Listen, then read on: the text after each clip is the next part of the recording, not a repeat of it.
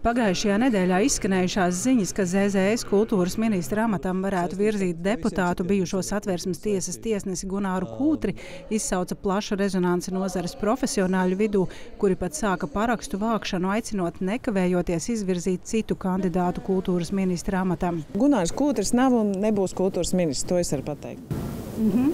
Bet tātad tas ministriju sadalījums, kas līdz šim ir izskanējis, tāds, ka kultūra varētu būt ZZS. Nē, tas arī šobrīd nav aktuāli. Nē. Partiju pārstāvi norāda, šāds lēmums pieņemts jau pagājušās darba nedēļas beigās.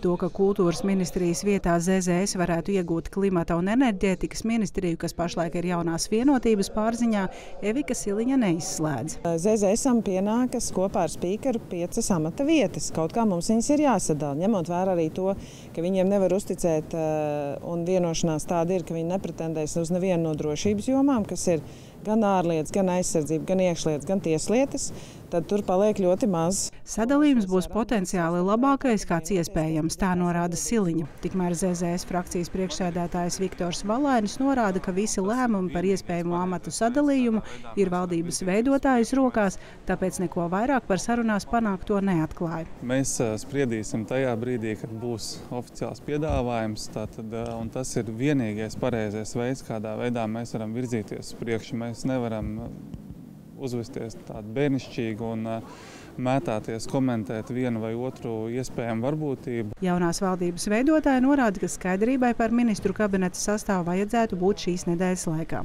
Zandozo valoda dzintars Spriņģis, Latvijas televīzija.